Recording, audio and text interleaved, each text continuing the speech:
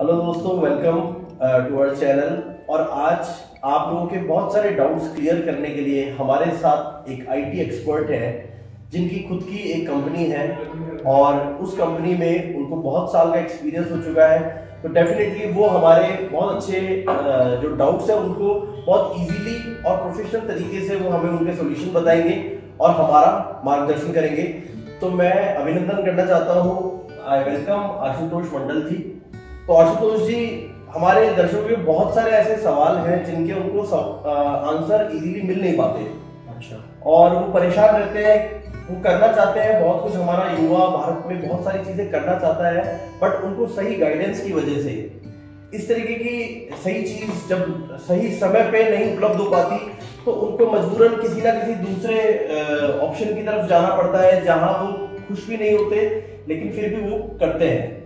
तो अगर आप आज आईटी से जुड़े हुए कुछ अच्छे स्कोप्स और अच्छे जो हम लोगों को हम अच्छा अगर राय दे सके तो हमारे बच्चों के लिए बाकी दर्शकों के लिए बहुत अच्छा रहेगा। तो हम अगर आप आ, कहें तो हम शुरुआत करते हैं कुछ प्रश्नों के साथ। कुछ बच्चों के प्रश्न हैं हमारे पास जो अक्सर हम पूछते हैं उनके साथ हम शुरुआत करना चाहते हैं। हाँ ठीक है आप स्टार्ट करिए मैं कोशिश करूँगा कि अच्छे से सबका रिप्लाई करूँ और सबको मतलब उनके डाउट्स क्लियर हो जाए जी। मेरी नॉलेज के हिसाब से जो लगता है मुझे। तो आशुतोष जी पहला क्वेश्चन जो बार बार बच्चों का है और जो लोग आईटी फ़ील्ड से जुड़ना चाहते हैं अभी तक आईटी फ़ील्ड से अनअवेयर हैं आईटी फ़ील्ड के बारे में बहुत ज़्यादा चीज़ें नहीं जानते। उनका यह है कि क्या आईटी फ़ील्ड में कुछ ऐसे कोर्सेज भी या ऐसी कोई चीज़ें हैं जिनसे वो हाई इनकम जैसा कि वो ड्रीम करते हैं, सोचते हैं। क्या वो अचीव कर सकते हैं? कर सकते हैं तो उसके लिए क्या करना है और कैसे उसको प्रोसीड करना है? हाँ सर, आप ठीक कह रहे हो कि आईटी फ़ील्ड में कई ऐसे कोर्सेज हैं जिनके बारे में लोगों को नॉलेज नहीं होती। वो शायद इसको शायद सॉफ्टवेयर डेवलपमेंट ऐसे थोड़े हाई लेवल पे स्केल करते हैं। लेकिन कुछ ऐसे कोर्सेज हैं हमारे पास जो कि आप ज़रूरी नहीं है कि आप उसके लिए मतलब ट्वेल्थ पास या कुछ भी हो। जी। ऐसे कोर्सेज हैं कि जिनको किसी भी मतलब बेसिक कंप्यूटर ऑपरेट करना तो आपको आना ही चाहिए। उसके बाद आप इन कोर्सेज को इजीली सीख सकते हो ठीक है? तो इनमें हम इनकम की अगर बात करें तो इनकम की देखो स्टार्टिंग अगर आप फ्रेशर हो तो फ्रेशर की सैलरी तो आ, हम एक्सपेक्ट करते हैं कि भाई अराउंड टेन थाउज़ेंड तो रहती है। उसके बाद आपका एक्सपीरियंस मैटर करता है। आपको थोड़ा एक्सपीरियंस होगा उसके बाद आपकी सैलरी डेफिनेटली जो आप सोच रहे हो अराउंड वन लाख तक आप इजीली पहुँच सकते हो। और ये हम खाली स्टार्टिंग के कुछ ईजी जो कोर्सेज हैं उनकी बात कर रहे हैं। तो मैं यहाँ स्टार्ट करना चाहूँगा ग्राफिक डिज़ाइनिंग कोर्स से। जी। तो ग्राफिक डिज़ाइन के बारे में हम थोड़ा जानते हैं कि वो एक्चुअली है क्या। तो ग्राफिक डिज़ाइन में हम एक्चुअली सीखते हैं किसी भी चीज़ को डिज़ाइन करना। अब डिज़ाइन से आप क्या समझेंगे? स्टार्टिंग हम लेते हैं आप सोशल मीडिया पे कोई चीज़ देखते हो ना हम लोग ठीक है? आपके सामने डिफरेंट एड्स आते हैं आजकल प्रमोशन चल रहा है बहुत चल रहा है ना? तो आप जैसे जो भी चीज़ देखना पसंद करते हो तो आपके पास उनसे रिलेटेड उनकी कुछ बनी हुई चीज़ आती है, जिसमें वो अपनी सर्विसेज़ या ऐसी कुछ चीज़ें शो करते हैं, ठीक है? और अब हम बोले तो जैसे कोई स्कूल है तो वो अपने जैसे एड्स बनाते हैं कि उनके एडमिशन है। तो एडमिशन के टाइम पे उनके एड्स बन के आते हैं हमारे पास। कोई हॉस्पिटल है हॉस्पिटल क्या क्या सर्विस दे रहा है क्या क्या चीज़ है, वो वाली कुछ चीज़ें हमारे पास आ रही है। तो ये सिर्फ़ डिज़ाइनिंग का एक पार्ट है सोशल मीडिया पोस्ट बनाना, जो कि डिफरेंट जो भी बिज़नेस कैटेगरीज है, उनके लिए होता है। उसके अलावा भी हम ऑफलाइन में कई चीज़ें देखते हैं डिज़ाइनिंग की, जैसे हम भाई होर्डिंग्स आपने देखे होंगे बैनर्स देखे होंगे।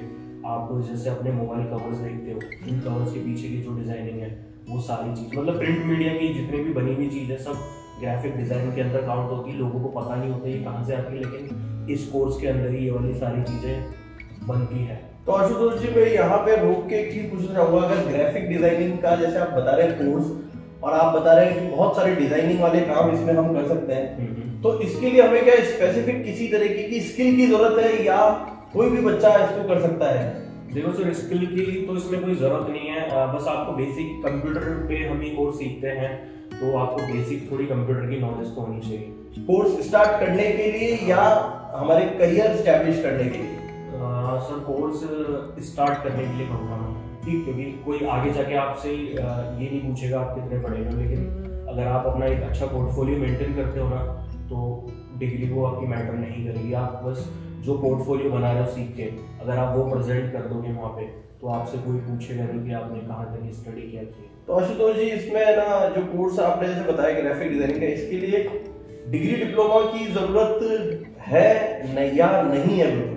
सर इसके लिए वैसे वैसे वो प्लस पॉइंट हो सकता है अगर आप डिग्री डिप्लोमा अगर दिखा रहे हो वो एक प्लस पॉइंट माना जाएगा। लेकिन अगर सिर्फ़ सर्टिफिकेशन भी आप कर रहे हो उसका तो वो भी सफिशिएंट है। अच्छा मतलब आपके कहने का मतलब है कि अगर हमारे पास एक सर्टिफिकेट भी है अच्छा तो हम अपना इस कोर्स को वो से हम करियर लिए शुरुआत कर सकते हैं। हाँ डेफिनेटली आप कर सकते हो। और ऐसे बच्चे जो अभी सिर्फ़ दसवीं, बारहवीं में पढ़ रहे हैं। क्या वो लोग भी अपना करियर इसमें कुछ प्लान कर सकते हैं या उनको आगे कुछ और एक्स्ट्रा पढ़ाई करने के बाद ये करना चाहिए? इसके लिए क्या सजेस्ट करेंगे आप? सर मैं तो यही कहूँगा कि आपको वेट तो बिल्कुल नहीं करना चाहिए। आप इसको सीख के मतलब ज़रूरी नहीं कि आप सीखने के बाद जॉब ही करो। लेकिन अगर आपको जॉब नहीं करनी की आपको आगे पढ़ना है। लेकिन अगर आप स्टार्टिंग से इसमें कमांड बना लेते हो सीख के जी। आप कई चीज़ें कर सकते हो उसमें। ज़रूरी नहीं आप जॉब करके करो आप अपने खुद के लिए वर्क कर सकते हो। कई चीज़ें अपन खुद के लिए डिज़ाइन करके कर सकते हो। आपका कोई रिलेटिव या कोई कुछ है आप उसके लिए फ्री में अपना पोर्टफोलियो जनरेट करने के लिए काम कर सकते हो। जो बाद में कि जब आप जॉब कर रहे हो तब के लिए आप मतलब उसका ऐसा एक्सपीरियंस काउंट करके दिखा सकते हो उस चीज़ को। तो आशुतोष जी, कई बच्चे जैसे ये, उनका अगला सवाल ये रहता है कि अगर इस तरीके के कोई कोर्सेज होते हैं, जैसे डिज़ाइनिंग के या कोई भी जो कंप्यूटर स्किल वाली चीज़ है तो डिज़ाइनिंग के लिए क्या उनकी डिज़ाइन स्किल्स बहुत अच्छी होनी चाहिए? उनकी स्केचिंग स्किल्स बहुत अच्छी होनी चाहिए? या एक नॉर्मल जना जिसकी एवरेज है, या बिल्कुल नहीं है? वो लोग भी क्या इस तरीके के कोर्स को प्रोसीड कर सकते हैं? सर देखो स्केचिंग अगर जिसने किसी ने सीखी है जी। तो एक बेनिफिट उसको मिलता है क्योंकि हम डिज़ाइनिंग वर्क की बात कर रहे हैं। तो इसमें भी स्केचिंग अगर किसी की अच्छी है तो उसको थोड़ा बेनिफिट तो नॉर्मल के मुकाबले थोड़ा मिलने वाला है उसको। अच्छा। और ऐसा नहीं है कि अगर किसी को नहीं आता वो नहीं सीख पाए क्योंकि इसमें कई तरीके के टूल्स होते हैं जो भी उस वाले पार्ट को कवर कर देते हैं। अगर आपकी डिज़ाइनिंग अच्छी नहीं है तो भी आप थोड़ा कमांड करके उन्हीं के लेवल की चीज़ें इसमें कर सकते हो। मतलब उनकी से थोड़ा टाइम लगेगा आपको चीज़ सीखने में लेकिन आप पहुँच जाओगे उस लेवल तक। अच्छा एक एक सवाल और आता है इस, इसके अंदर कि अगर बच्चों का पूछना है कि कई बच्चे क्योंकि हमारे मोस्टली इंडिया में क्योंकि इंग्लिश का बहुत ज़्यादा चलन नहीं होता बच्चे हमारे बहुत सारे गाँव के भी होते हैं छोटे कस्बों के बच्चे हैं उन लोगों को इंग्लिश बहुत अच्छी नहीं आती है।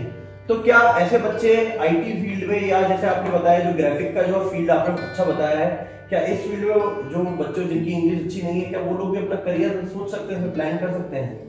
हाँ सर इंग्लिश का मतलब ये नहीं कि भाई हमें बोलना है, लिखना उससे मतलब वो खाली, जी, वो तो भाई कम्युनिकेशन में काम आती है, लेकिन हम डिज़ाइनिंग में हमें पढ़ना, लिखना आता है, हम बचपन से ए सी डी सीख रहे हैं, जी तो हमें जो उसके अंदर कंटेंट डालना है, बस उसके लिए थोड़ी हमें स्पेलिंग और ग्रामर की ज़रूरत पड़ती है, बाकी आपको बोलना या लिखना, समझना, इसमें इतनी दिक्कत नहीं होगी, वो आप कर सकते हो इजीली मतलब वो कोर्स हिंदी में भी आसानी से समझा जा सकता है, ज़रूरी नहीं कि इंग्लिश में चलेगा। अच्छा तो लैंग्वेज की तो कोई दिक्कत है नहीं इसमें तो सर इसमें एक चीज़ हमें बताइए कि जो कोर्स आप बता रहे हैं हम्म। एक ऐसा जना जो बिल्कुल अभी कंप्यूटर फ़ील्ड से ताल्लुकात नहीं रखता है बिल्कुल नॉन आईटी फ़ील्ड का है और हो सकता है छोटा हो दसवीं का हो बच्चा बारहवीं का हो तो लगभग कितना समय उसको लग जाएगा इस फ़ील्ड में अच्छा परफॉर्म करने के लिए सर देखो ये जो स्टार्टिंग हम ग्राफिक डिज़ाइनिंग के कोर्स को मानते हैं तो इसमें देखो ऑलमोस्ट जो मिनिमम होता है इसमें हम तीन या चार सॉफ्टवेयर कवर करते हैं वैसे है ना?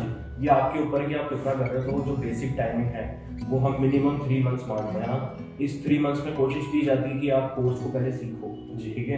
कोर्स सीखने के बाद अब आपके ऊपर है कि भाई आप एक एक टूल पे कैसा वर्क कर रहे हो कितनी मतलब वो ग्रैप कर रहे हो तो ये अब स्टूडेंट पे डिपेंड करता है कि वो किस लेवल से वर्क कर रहा है। जैसे हमने मान लो उसने वो सीखा अब वो उसको इम्प्लीमेंट करके कोई चीज़ बना रहा है अच्छी उसने बनाई है तो वो डिपेंड उसी पे करता नहीं तो हम मानते कि at least three months months में सॉफ्टवेयर कवर होंगे आगे के थ्री मंथ्स वो उस पर प्रैक्टिस करेगा।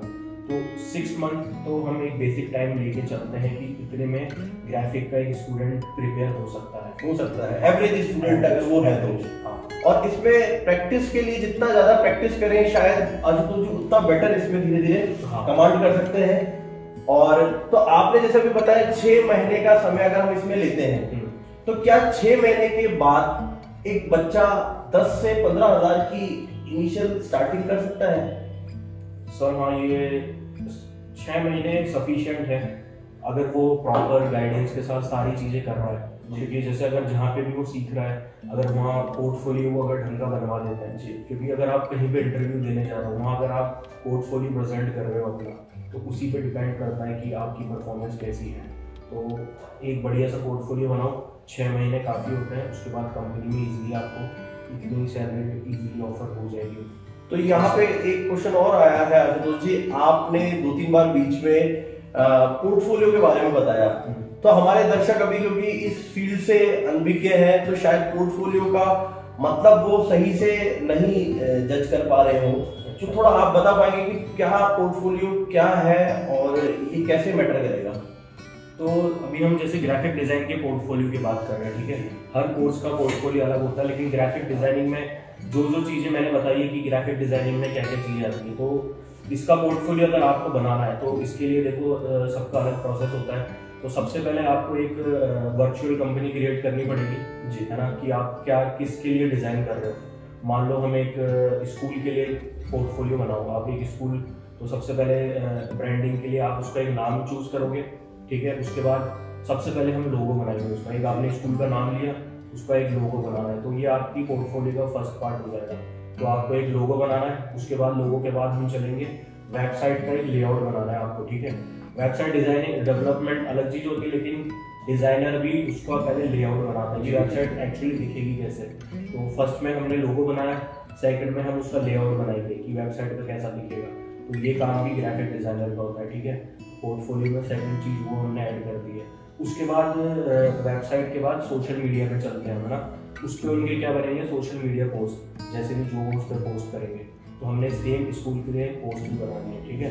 तो ये तो है डिजिटल वाली चीज़ों की बात कर रहे हैं। अब हम चलते हैं फ़िज़िकल तो स्कूल की अगर बिल्डिंग होगी तो उसके बाहर उसके बैंक के होर्डिंग बैनर्स ये सब भी ब्रोशर्स होते हैं। हाँ तो ये सारी चीज़ें भी हम ही डिज़ाइन करेंगे तो ये सब हम डिजिटल वे में बनाएँगे अपने पोर्टफोलियो के लिए।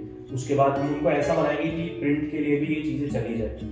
पोर्टफोलियो में हमारी यही सारी चीज़ जाने वाली है कि एक ब्रांड के लिए हम और डिजिटल और फ़िज़िकल वे में कितनी चीज़ डिज़ाइन कर सकते हैं। जैसे स्कूल बैग्स और ये ये भी इसी में हम काउंट कर सकते हैं। अगर उनके स्कूल बैग्स ड्रेस के ऊपर बैजिंग बैजिंग ये सब हम डिज़ाइन करके अपने पोर्टफोलियो में रख सकते हैं। तो जितने ज़्यादा डिटेलिंग में पोर्टफोलियो बनाओगे, उतना ज़्यादा बेनिफिट मिलेगा आपको। तो पोर्टफोलियो का इसका मतलब कहने का मतलब ये हुआ कि स्टूडेंट्स जो वर्क सीख रहे हैं ग्राफिक डिज़ाइनिंग के लिए और ग्राफिक डिज़ाइनिंग कोर्स के दौरान उन्होंने अलग अलग तरह की चीज़ें बनानी सीखी।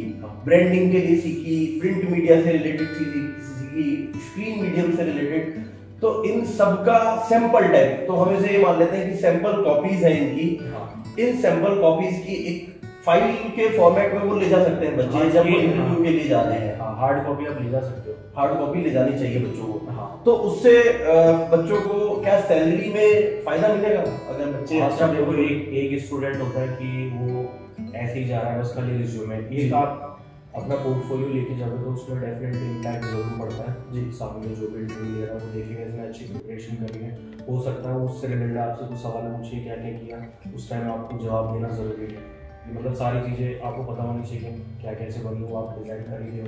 तो इम्पैक्ट तो बहुत पड़ेगा मतलब सैलरी हाइक एक रोल प्ले कर सकती है। तो आशुतोष जी मैं लास्ट एक क्वेश्चन और पूछना चाहता हूँ जिससे कि हम इस टॉपिक को मुझे लगता है बच्चों को काफ़ी कुछ समझ में आया होगा। इसके बाद हम आशुतोष जी के साथ लगातार बने रहेंगे और आगे भी आपके जो डाउट्स हैं वो हम क्लियर करेंगे। तो एक लास्ट क्वेश्चन में ये पूछना चाह रहा था कि ग्राफिक डिज़ाइनिंग जो भी आपने कोर्स बताया हम्म। इसमें फ्रेशर को तो आपने बताया दस से पंद्रह हज़ार की शुरुआत हो सकती है। हाँ। बट आजकल आप जानते हैं कि दस पंद्रह हज़ार एक कोई बहुत बड़ी सैलरी नहीं मानी जाती। तो क्या बच्चे आगे इसमें कितने लेवल तक कमा सकते हैं और कितना जल्दी? उनको क्योंकि आज का युवा जो है वो ये चाहता है कि वो जल्दी से जल्दी अच्छी अर्निंग करने लगे। और उसके लिए वो मेहनत करने के लिए तैयार है उसके पास जो भी उसको अच्छे अपॉर्चुनिटीज़ मिलती हैं वो उनको लेके कोशिश करता है। तो ये आप थोड़ा इस चीज़ पर और प्रकाश डालिए कि वो ज़्यादा से ज़्यादा अर्निंग कितनी जल्दी और कैसे इसमें कर सकता है। टाइम कितना लग जाता है इसके अंदर? तो जैसे फ्रेशर का हमने माना है कि 10 से 15 हज़ार की सैलरी है ठीक है?